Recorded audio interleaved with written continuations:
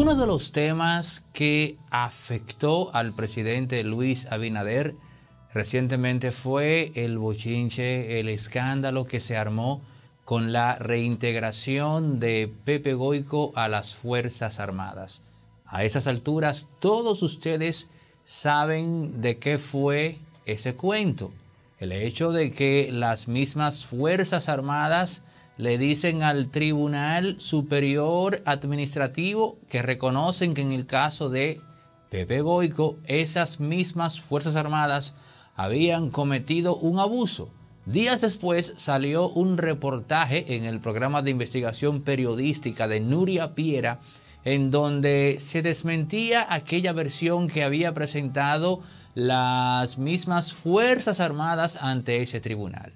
¿Y de qué va esto? Bueno, esto va del hecho de que ese conflicto supuestamente abrió las puertas para que Luis Abinader le reprochara a modo de boche al mismísimo ministro de ese organismo de defensa, estoy hablando de Carlos Luciano Díaz Morfa, la sugerencia que le había presentado ese ministro de ascensos a militares junto al tema de Pepe Boico.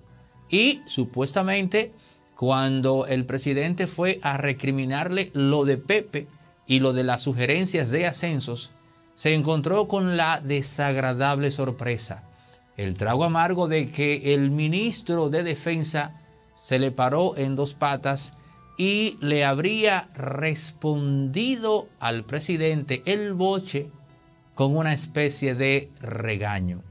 Esa versión la puso a circular el colega Rafael Antonio Guerrero en su plataforma Corrupción al Desnudo. Miren, yo no tengo por qué dudar en primera instancia de ese relato, porque las veces en las cuales un inferior se insubordina o se revela ante un superior, ya sea un presidente, de eso está llena la historia del juego de poder en la cultura occidental. De hecho, si usted quiere apreciar cómo psicológicamente se da ese proceso que hace que una persona, eh, digamos, deje de reconocer o más bien irrespete una figura de poder, léase un libro que se llama El Señor de las Moscas del escritor inglés William Golding. Ahí en esa novela queda explicado de manera elegante cómo se da eso. Pero en el caso de la versión que cuenta um, Rafael Antonio Guerrero en su programa Corrupción al Desnudo, hay un detalle que hace flaquear todo esto y que es necesario que nosotros lo expongamos ante todos ustedes, porque que quede la versión de que un ministro le habló al presidente, el que sea, llámese como se llame de tú a tú, es algo peligroso. Es algo que no puede quedar así en la superficie porque es literalmente hablando una chispa que invita a eso, a que se dé una reacción en cadena que propague el irrespeto a una figura de mando, en este caso un presidente. Y créanme que en República Dominicana sería muy pero muy peligroso tener a un Luis Abinader que no tenga respeto en las Fuerzas Armadas. Yo no niego que el boche no se haya dado, pero para que Rafael Antonio Guerrero tenga esa versión, necesitaba estar en ese lugar a esa hora un testigo presencial. Un testigo que vio la acción entre Carlos Luciano Díaz Morfa y el mismo Luis Abinader. Y es ahí donde radica el asunto. En que si hay un testigo, no es verdad que frente a esa persona, Carlos Luciano Díaz Morfa, teniente general, ministro de las Fuerzas Armadas, por más hipolitista que sea, por más imprudente y falta de tacto que sea, no es verdad que frente a otra persona él le va a hacer eso al presidente. Él puede ripostar, se le puede parar en dos patas, en privacidad. Porque Carlos Luciano Díaz Morfa, como gerente que es, y que lo fue en el pasado porque le tocó dirigir a un batallón que protegía al presidente, él sabe cuál es el código en el juego de poder. Él sabe perfectamente que si él tiene ganas de decirle eso al presidente, si él tiene las gónadas para despacharse con eso face to face frente a un mandatario, él sabe perfectamente que eso no es necesario hacerlo frente a otra persona. Porque eso incluso obliga al que recibe ese mensaje a actuar de manera desproporcionada. Porque tiene que quedar el ejemplo no solo para el que se atrevió, sino para, para el que lo vio, para que lo asuma para sí y para que propague cómo se maneja el hombre, en este caso el presidente, cuando le dicen cosas que según él no se deben. Carlos Luciano Díaz Morfa sabe eso perfectamente. Y si él tenía ganas de decirle eso al presidente, con toda seguridad lo iba a hacer y si lo hizo, lo hizo en privado. Apuntalar a que un testigo X se lo dijo a un fulano es inmediatamente desmantelar la veracidad de quien llevó ese asunto. Yo no digo de Rafael Antonio Guerrero. Seguramente le llevaron una versión. Y quizás él, por querer dar la premisa, obvió el detalle que estoy diciendo aquí. No es verdad que ese tipo de conversaciones, ese tipo de dimes y diretes se dan frente a otras personas. Tal vez el presidente, pero oigan algo, ni siquiera el presidente iba a hacer eso porque el presidente no se iba a exponer a, digamos, potencializar una reacción exacerbada del ministro en presencia de otros.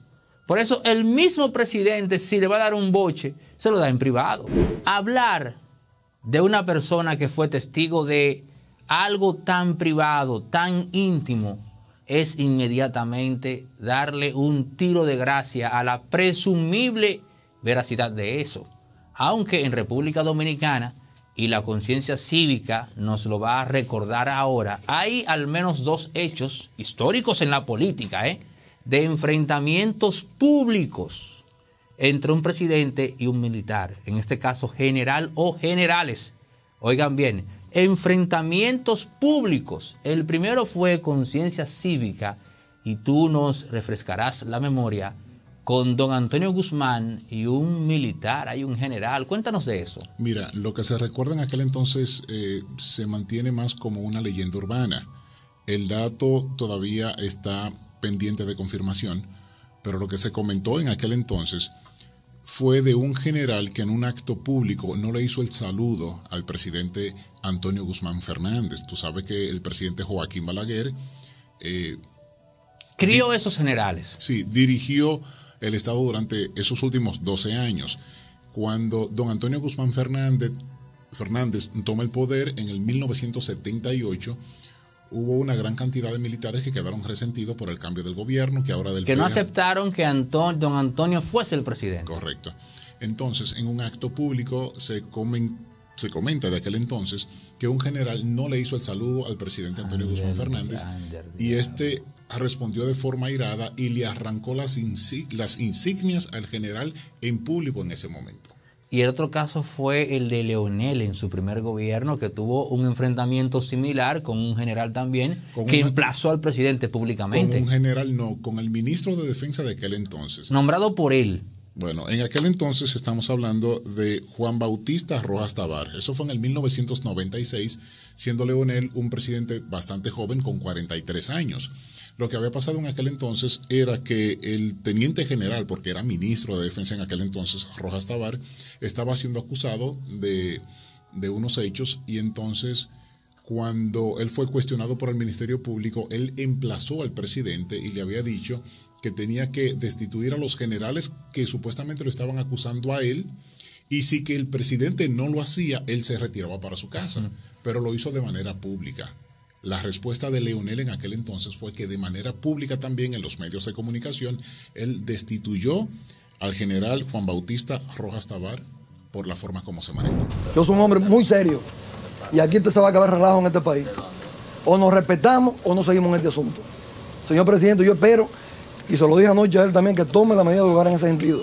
O los retiran a ellos o yo me voy para mi casa. Hoy mismo o cuando sea necesario. Pero no puedo admitir, bajo ningún concepto, que él ni ningún otro miembro de las Fuerzas Armadas o de la Policía me coloque frente al pueblo dominicano en una disyuntiva de esa naturaleza. Pues de aceptarla, el que tendría que irse para su casa sería el presidente de la República. Y resulta que este presidente de la República se irá para su casa con la conciencia en alto y su espíritu tranquilo el 16 de agosto del año 2000. Ahí tenemos dos hechos puntuales de generales que enfrentaron a un presidente. Esto se puede tomar como casos excepcionales y no aplican al hecho que se revela en corrupción al desnudo. Ese boche entre, digamos, de Luis Abinader a Díaz Morfa, yo no lo dudo, porque alguien tenía que pagar los platos rotos del tema de Pepe Boico, pero que se dio en presencia de un segundo, de un tercero. Eso, permítanme dudarlo.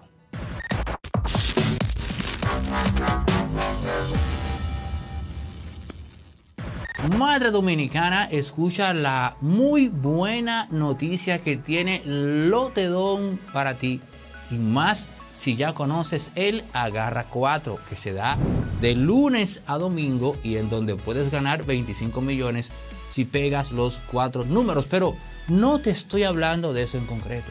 Te hablo más bien del código que está al final de cada boleto del Agarra 4 de Lotedón con el cual estás participando todos los domingos a partir del domingo primero de mayo y hasta el 29 de ese mismo mes de mayo para ganarte un millón de pesos cada domingo con ese código. Eso es aparte de los números que tú juegas. Ganes o no ganes, conserva tu ticket y debes estar pendiente a los sorteos que se dan. Válidos los tickets que se juegan desde este 18 de abril y el primer sorteo será el domingo primero de mayo. Así que preserva tu ticket y atenta a esos dígitos que están al final de cada boleto para que estés en la tómbola para ganarte un millón de pesos todos los domingos. Esto es lo que trae Lotedón con su Agarra 4 para las madres dominicanas. Vámonos con los clasificados de Impolíticamente Correcto, pero justo antes recordarte que Farmacia Medicar GBC es la farmacia de los dominicanos abriendo sus puertas en Puerto Plata, los medicamentos a un 20% de descuento y abierta de lunes a domingo. Farmacia Medicar GBC, la farmacia de nosotros los dominicanos. Energía eléctrica ininterrumpida gracias al sol, eso lo puedes obtener llamando o escribiendo ahora mismo a los expertos en la instalación de paneles y celdas fotovoltaicas Ser Solar. Una inversión, una solución para toda la vida. 25 años de garantía. Ser Solar, número en pantalla ahora mismo para que te pongas en contacto y descubras qué tanto puede hacer el sol para que no detengas tu vida cotidiana contando con la mejor forma de energía de cara al medio ambiente, la energía solar.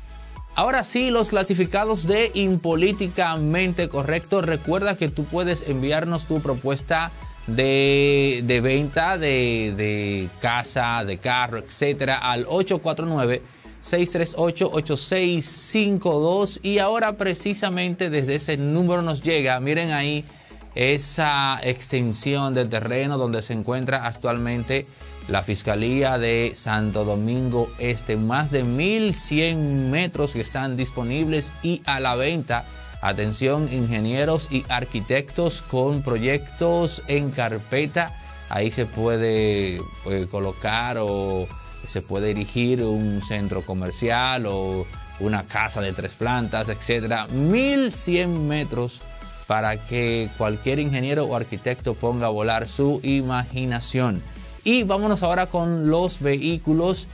Esa Mercedes-Benz 450 del año 2015. Año 2015 en excelentes condiciones. Miren ahí las fotos hablan por sí mismas. Precio para que te la lleves. Precio anti rebaja 32 mil dólares en los clasificados de impolíticamente correcto. Pero si lo tuyo es la Lexus, mira esa que tenemos ahí, año 2021. Esa Lexus eh, que es la versión de lujo de la Toyota, mira por fuera, el interior. Llámanos o escríbenos al 849-638-8652 si, si te llama la atención ese diseño. Para los gustos, los colores, como dicen por ahí, algunos se, decantarán por una Mercedes, otros, otros por una Lexus. Y recuerda que tú también puedes escribirnos al 849-638-8652 para que nos hagas, tu, ah, nos hagas llegar tu oferta de venta de casa o vehículo. No tienes que pagar, solo una mínima comisión de venta. Los clasificados de impolíticamente correcto.